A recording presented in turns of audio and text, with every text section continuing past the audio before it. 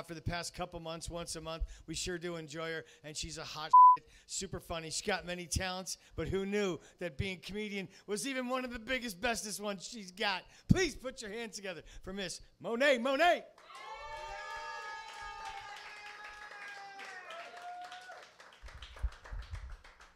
All right, let's give it up for the most powerful beings in the room tonight. Ladies, give it up for yourself.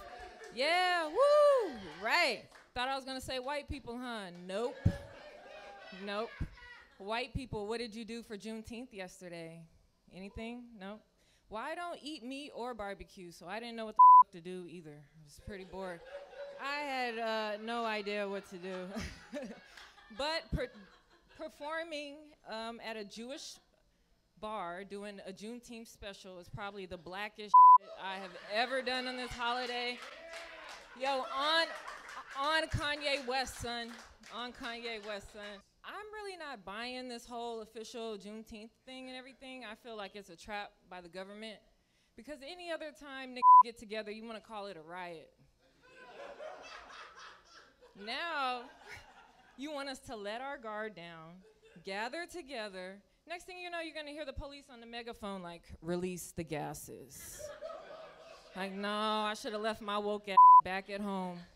I knew my third eye was tingling. It's not right. But isn't it crazy? They said that we didn't find out that we were free until two years after. That is crazy.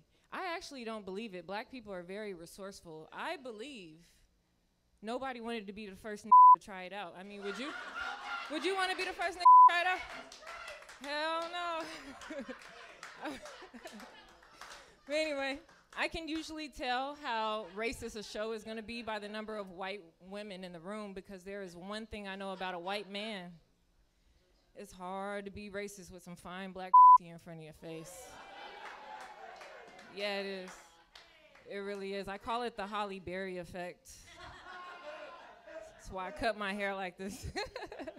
no, but seriously, um, it is a thing. Whenever I'm at a job, my black men are like, man, the supervisor, man, Chad, he's racist, man. And I'm like, really?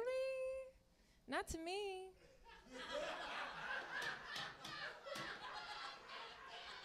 he said I was getting a raise.